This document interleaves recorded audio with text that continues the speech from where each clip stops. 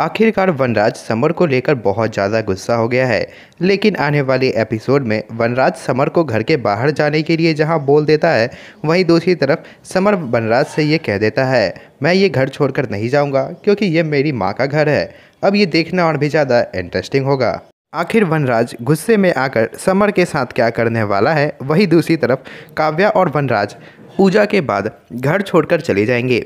लेकिन अब काव्या ये चाहती है, वह घर छोड़कर ना जाए, क्योंकि उसे घर में रहना है, सभी के सामने वनराज के साथ। अब ये देखना और भी ज़्यादा इंटरेस्टिंग होगा। आखिर वनराज काव्या की बातों को सुनता है या नहीं? क्योंकि समर देने वाला है वनराज को जवाब। वनराज को ऐसा लगता है, वह काव्या से शादी करेगा।